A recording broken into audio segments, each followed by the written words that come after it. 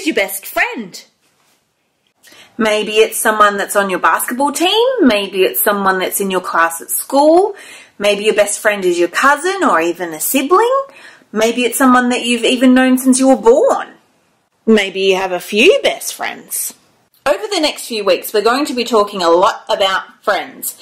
And I'm curious to get you thinking about how you and your best friend kind of first connected. One of my best friends when I was in primary school, she only arrived at my school when she was in grade six because she moved from the country to the city. But her name was Sarah, and we thought it was funny that we had the same name. And then we went to the same high school, and we still thought it was funny that we had the same name. And the more that we got to know each other, the more we realised that actually we had a lot more in common than just our name. See, it's important to think about what kind of qualities you're looking for in a friend. It's got to be more than just having a matching name with someone. See, things like are they kind? Are they generous? Are they encouraging? Are they funny? I don't know. I wonder what matters to you when you're choosing a friend. Now, when Jesus was choosing his friends here on earth, he didn't always choose the people that other people thought he would choose. In the Bible, Jesus' friends are often referred to as the disciples, and we learn a lot about them in the Gospels, the books of Matthew, Mark, Luke, and John, which are found at the start of the New Testament. And they tell us a lot about Jesus and his friends and kind of what they did together. But if you go right back to the beginning, where Jesus kind of first met his crew, I told you before, they weren't really the people that most would expect Jesus to kind of pick out to be his best friends.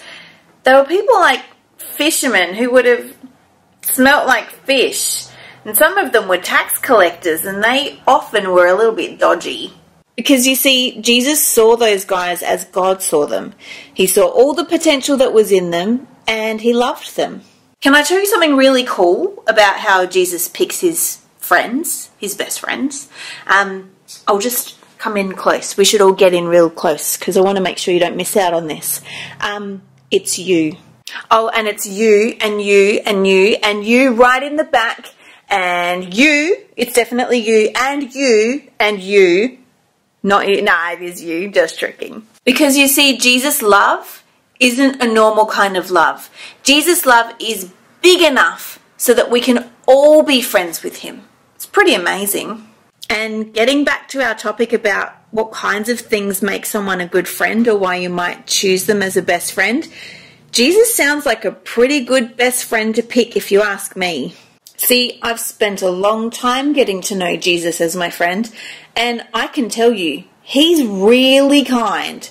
He's really encouraging, and he's the most generous person I've ever met in my life. So, first of all, I want you to remember that Jesus picks all of you to be his best friend.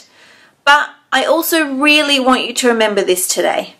We want you to make wise choices when you're choosing friends, and I think the wisest choice you can make in a friend is to choose Jesus.